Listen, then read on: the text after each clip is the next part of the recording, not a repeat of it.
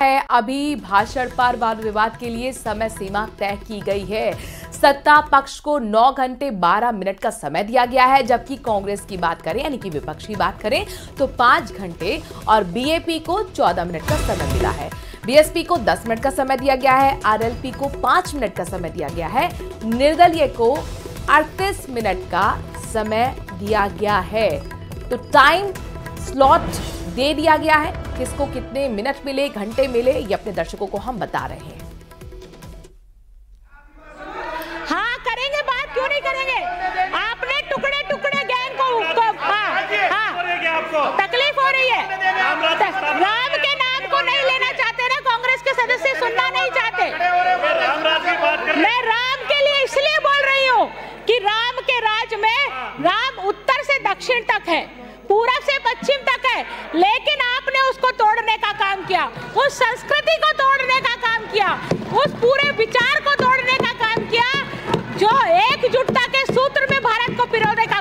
करते हैं। और इसलिए आप राम को नहीं जानना चाहते।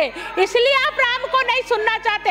इसलिए आप राम के विचार को जीना नहीं चाहते आप संविधान के खिलाफ जा रहे हैं। आप राम को। आप संविधान के हाँ। खिलाफ जा रहे हैं। मैं किसी के खिलाफ जा रही हूँ। धर्म निरपेक्ष धर्मनिरपेक्षता सिखाता है हमें धर्मनिरपेक्षता की बात हमारा करें तो संविधान हमें पचास लाख धर्मनिरपेक्षता दिए होंगे सिखाता है कन्हैया कुमार को भी। और हमसे यहाँ पे कन्हैया शपथ कुमार को भी लेते हैं 50 लाख दिए हम होंगे, यहाँ पे शपथ धर्मनिरपेक्षता लेते की हैं बात है तो धर्मनिरपेक्षता की बात है तो पचास लाख कन्हैया ने कुमार को क्यों नहीं दिए फिर पचास लाख दिए होते ना धर्मनिरपेक्षता की बात है तो कन्हैया कुमार को क्यों नहीं दिए जवाब दो मुझे अनीता जी। जवाब दो मुझे पचास लाख नहीं दिए तलाक दिए दो नौकरी दिए हाँ। अनीता जी लाख दिए, दो नौकरी दिए। मत बोलिए हो। इधर आसन को संबोधित कीजिए चलिए माननीय सभापति महोदय मैं तो आपसे इतना निवेदन करना चाहती हूँ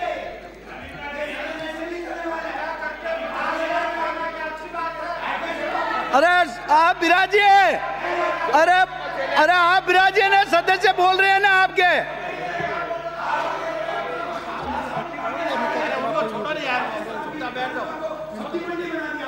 आप सदस्य। अनीता अनीता जी के अलावा कोई नहीं बोलेगा। बोलेंगे तो मेरे को कुछ न कुछ और निर्णय लेना पड़ेगा। आप भी आप आप बैठो ना यार आप विराजिए ना आप विराजिए ना आप विराजो ना आप विराजिए आप विराजिए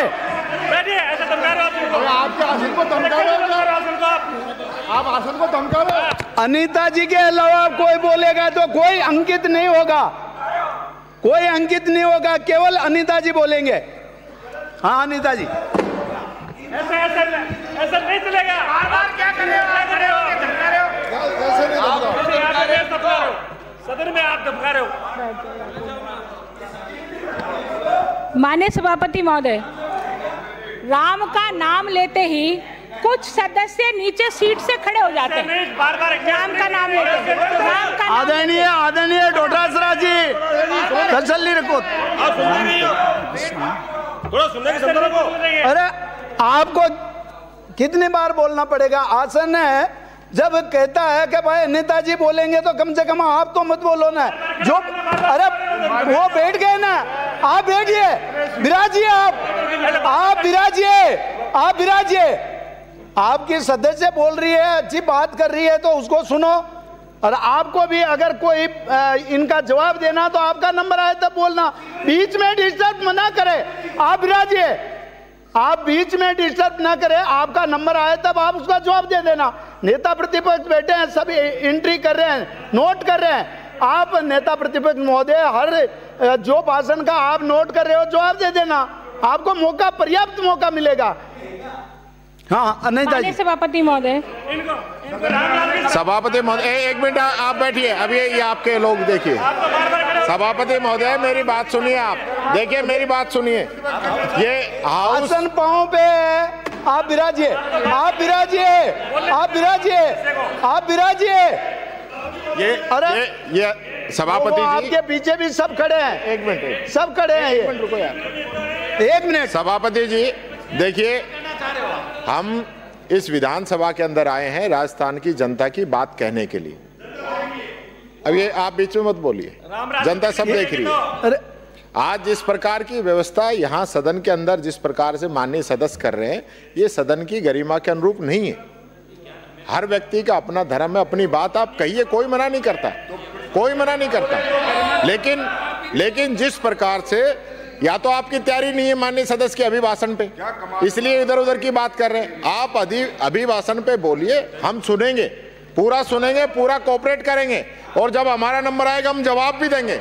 लेकिन इस प्रकार से सदन को सब्ज़ी मंडी नहीं बनने देंगे हम बता देते हैं आप लोगों को विराजिए हाँ विराजिए बामणिया साहब विराजिए ने- आपके नेता प्रतिपक्ष बोल गए ना माननीय सभापति आप विराजिए आप विराजिए आपके नेता प्रतिपक्ष बोल रहे हैं आप विराजिए आप विराजिए आप विराजिए आप विराजिए आप विराजिए आप विराजिए अनिता जी बोलिए माननीय सभापति महोदय धर्मनिरपेक्षता हमारे संविधान में उल्लेखित है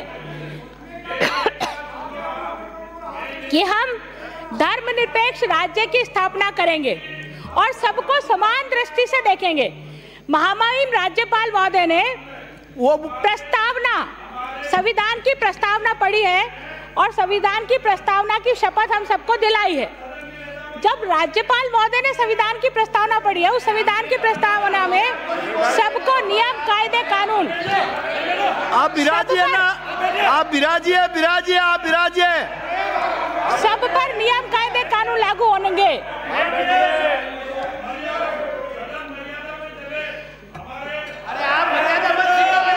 आप विराजिए विराजिए आप विराजिए आप तो मर्यादा का पालन कर दो।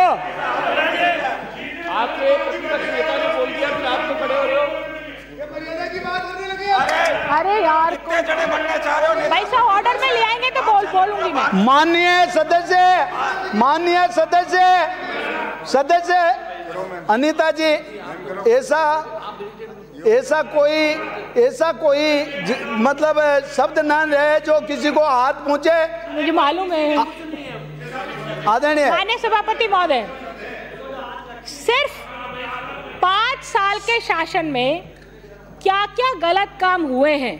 यदि वो भी नहीं बताया जाए और हम क्यों उधर बैठ गए और बीजेपी इधर क्यों आ गई, वो भी नहीं सुनना चाहे तो कोई आँखों का अंधा हो तो समझ में आता है, लेकिन कोई दिमाग से भी अंधा है, यदि वो दिमाग से भी अंधा बनना चाहता है तो मुझे उसको समझाने की ज़रूरत नहीं है।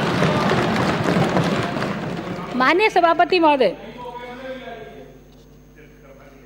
हमने बार बार आग्रह किया, बार बार आग्रह किया कि आप न्याय करिए, सबके समान, सबके साथ न्याय करिए।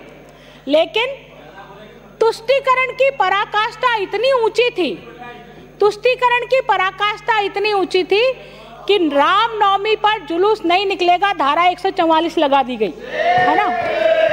राम नवमी पर जुलूस नहीं निकलेगा और साथ में डीजे नहीं बजेगा।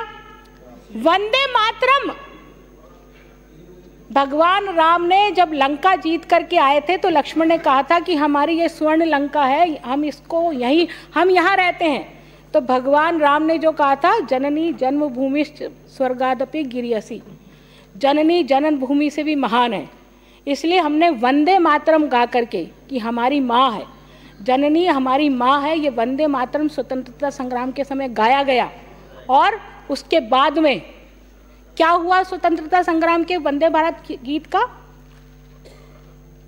अब मैं बोलूँगी तो सदस्य चिल्लाएँगे खड़े हो जाएँगे। कहूँ? कहूँ तू ना वंदे मातरम गीत। आप तो मैं मंत्री हूँ। मेरी सरकार है तो मैं मंत्री हूँ आपके जैसा नहीं है कि मुख्यमंत्री और उप मुख्यमंत्री पाँच साल माननीय सदस्य आसन को संबोधित करें। इसलिए मान्य मान्य सभापति महोदय इसलिए ये बात कहनी पड़ रही है कि आपने इस देश में तुष्टीकरण के कारण से आपने टुकड़े टुकड़े इस भारत के हो जाए इसके कारण से आपने जातिवाद का जहर इस देश में घोला। धर्म का जहर आपने इस देश में घोला उस उस देश में जहाँ पर गंगा जमुनी तहजीब थी, वहाँ हमारे लोगों के मस्तिष्क में ये बात डाली गई शिक्षा के माध्यम से, है ना? उन विचारों के माध्यम से कि हम अपने को गौण समझे, तुच्छ समझे और हमारा, हम विदेशों पर निर्भर रहे। नेहरू जी ने क्या किया था? यही किया था। फिर बोलेंगे कि नेहरू जी का नाम क्यों ले रहे हो? इतिहास तो बोल सकते हैं ना। इतिहास तो नहीं बोल सकते, इतिहास नहीं बता सकते। वंदे भारत गीत की पंक्तियाँ, जब वंदे भारत पूरा गाया जाता था तो उसकी पंक्तियाँ किसने कम कराई और क्यों कम कराई? क्या भावना थी उसके पीछे? क्या कारण था उसके पीछे? ये अपने इतिहास में जाके देखो तो आपको पता पड़ेगा। इसलिए माननीय सभापति महोदय, मैं इतना निवेदन करना चाहती हूँ कि भारतीय जनता पार्टी के शासन की स्थापना प्रदेश में हुई है। हर वो वर्ग जिसके कारण से कांग्रेस शासन में वो वर्ग पीड़ित रहा है। चाहे वो किसान हो, चाहे वो युवा हो, चाहे वो मजदूर हो, चाहे वो महिलाएँ हों। महिलाओं के कितने केस हर दिन, हर मिनट 18 महिलाओं के साथ बलात्कार की घटनाएँ होना और यहाँ के कैबिनेट मंत्री जिसके पास दायित्व था, वो ये कहता है कि ये मर्दों का प्रदेश है और वहाँ की महिला मंत्री हंसती है हंसती है। जो वीरों की भूमि कहलाती है, जो प्रदेश जो त्याग की भूमि कहलाती है, वहाँ पर एक कैबिनेट बहुत सीनियर अपने आप को कहने वाले मंत्री जी का ये बयान आता है। लेकिन कोई जवान, बयान पर जवाब देने वाला नहीं होता है।